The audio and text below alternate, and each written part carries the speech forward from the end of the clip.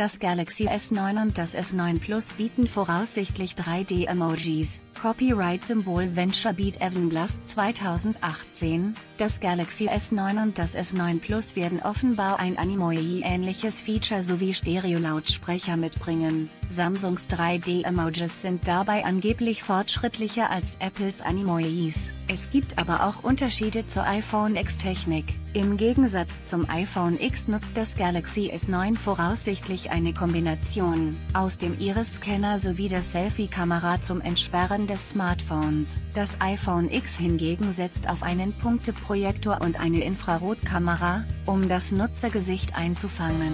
Laut AdNevs, via Android Authority, sollen Samsungs 3D-Emojis, welche die Mimik des Nutzergesichts nachahmen, der Apple-Variante trotz älterer Technik überlegen sein. Stereo-Lautsprecher von Arcag?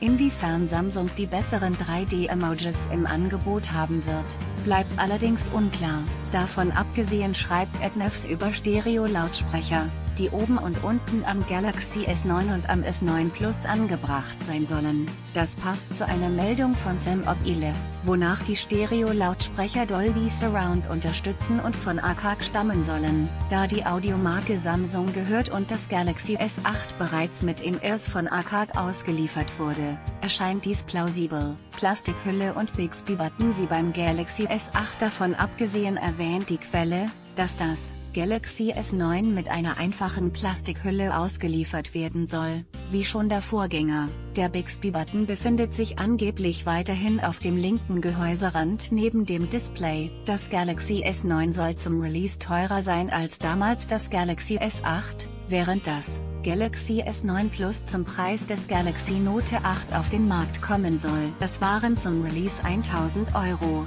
Die offizielle Präsentation des neuen Samsung Flaggschiffs steht am 25. Februar an.